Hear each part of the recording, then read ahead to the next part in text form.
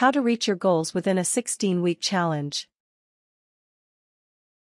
A 16-week challenge is a strategy for achieving a major goal in a relatively short period of time.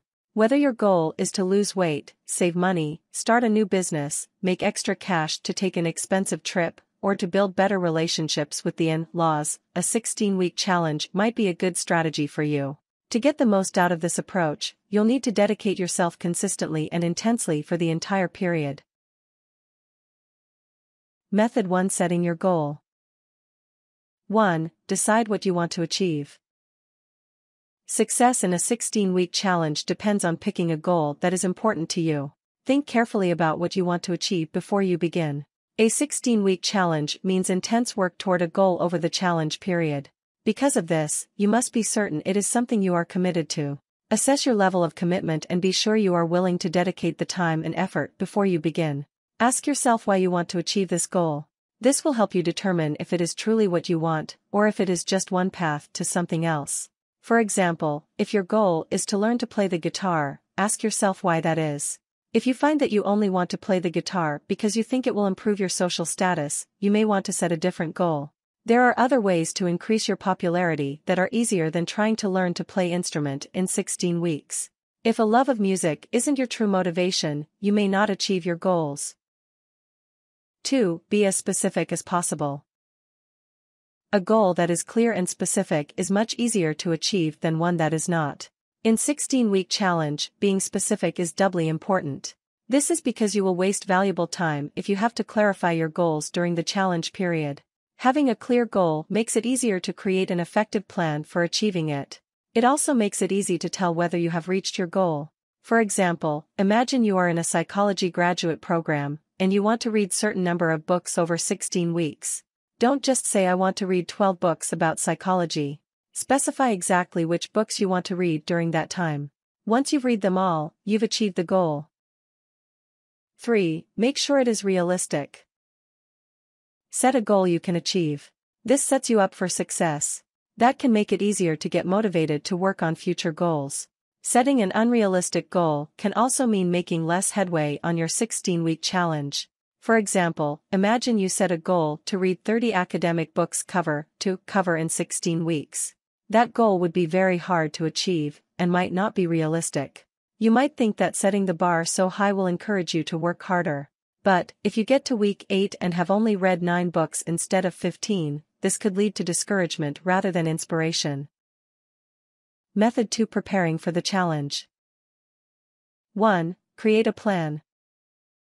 Planning ahead is important for your 16-week challenge.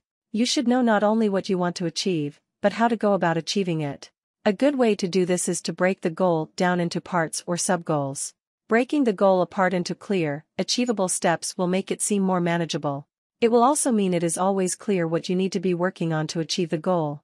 Again, if you have to do this during the challenge period, you will waste valuable. Planning in advance means working more efficiently during the 16-week challenge. For example, imagine your goal is to write a novel in 16 weeks.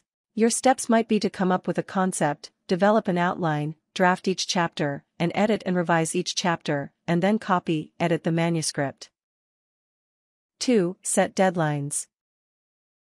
Within your plan, set deadlines for completing each step. Or, create benchmarks relating to how much progress you want to make by the end of each week. Having deadlines will help keep you accountable and motivated. For example, if your goal is to lose 50 pounds over the 16-week challenge, that means you'll need to lose an average of just over 3 pounds a week. Write this into your plan. 3. Plan for obstacles. There will always be something that comes up while you are striving for a goal that makes it harder to achieve.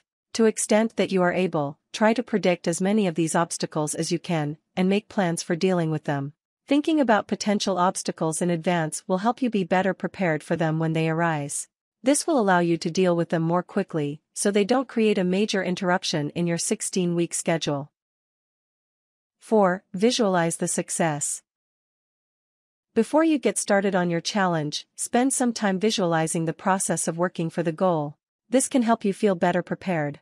It can also motivate you by bringing to mind all the benefits you will experience as a result of striving for your goal. Visualization means imagining yourself doing a task in the way you would like to do it. For example, if you are trying to learn to ride a unicycle, imagine yourself riding smoothly from your house, down to the corner, and back. Repeat this visualization often. Rehearsing in your mind can help you build positive habits or develop skills more quickly. 5. Work on your locus of control. Try to emphasize to yourself that you control your own destiny. This is called an internal locus of control. Whenever you start to have doubts about your ability to reach your goal, use self-talk. Remind yourself that you make your own choices and make your own future. This goes for not only before you start the challenge, but throughout the process. For example, imagine your goal is to lose 40 pounds in 16 weeks. An internal locus of control means keeping in mind that achieving this will be a matter of making good decisions and working hard. If, in the fourth week of your challenge, you find you've fallen short of your weight loss goals, this would mean taking responsibility and making the decision to intensify your efforts the following week. Of course, events will occur that will be outside of your control. But, how you deal with those events is up to you. Having an internal locus of control means meeting uncontrollable events with a positive attitude and looking for solutions, rather than accepting defeat. For example, imagine jogging is part of your weight loss plan, and in the second week of the challenge, you break your foot. This is not a situation you can fix by sheer force of will. But, if you have an internal locus of control, you will look for an alternative exercise that can take the place of jogging, rather than giving up. 6. Get help.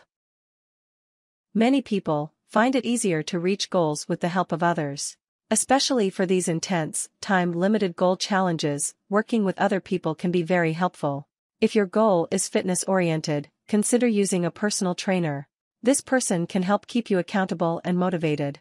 He or she can also provide advice to make your workouts more effective. If your goal is more more personal in nature, you might consider working with a life coach. This is a professional who can provide accountability, encouragement, and guidance. If neither of these options is appealing, you can also try to find an accountability partner to do the challenge with. This someone you can check in with daily to let them know how your progress is going. They will do the same, updating you on their own 16-week challenge. This can increase motivation for both partners. Your accountability partner doesn't even need to be working on the same goal as you. If you don't know anyone who is willing to be your accountability partner, look beyond your friends and family. There are online communities that exist for this purpose. Method 3 Working for the Goal 1. Start right. Pick date at least a few days in the future for your 16-week challenge to begin. Then, get started, setting a reasonable pace that you can keep up. Many people tend to start work toward a goal with a lot of enthusiasm and put a lot of time energy into the first week or two. Enthusiasm is great, but try not to burn yourself out or set standards you can't live up to at the outset. This will only harm your progress later. It's better to shoot for smaller goals spread out evenly than it is to work on nothing else but your goal. Picking a date a little ways into the future is a good way to help build anticipation. This can provide increased motivation when the challenge begins. 2. Work hard and consistently. Once the challenge begins, the best thing you can do is put in the time and effort necessary to achieve your goal, and to do so every day. In the end, no matter how good your plan is or how lofty your ambitions, the only way to achieve a goal is through time and effort. Get started, stay focused, and stick to the plan as well as you can. Work on your goal daily. If you've got weekly deadlines, work on them over the whole week instead of trying to do all the work at the end. Creating a routine of working at it every day will help you form good habits and make steady progress. For example, imagine you are writing a book and have set a sub-goal of writing two chapters a week. Try to write a few pages every day, rather than pulling all-nighters on Friday and Saturday to finish the work. This will only leave you exhausted as you head into the next week. 3. Be efficient.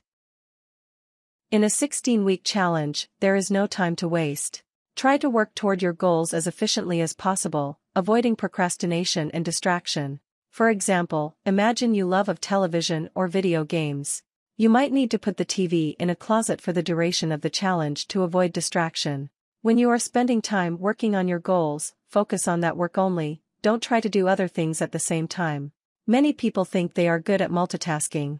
But in fact, multitasking reduces efficiency and productivity.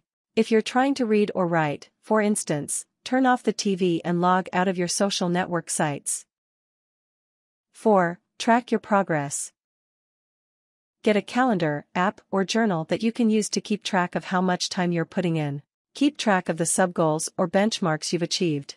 Keeping track on a regular basis can help you determine if you're working at a good pace. It can also provide a good reminder of what you've already achieved, which can help if you start to run out of motivation.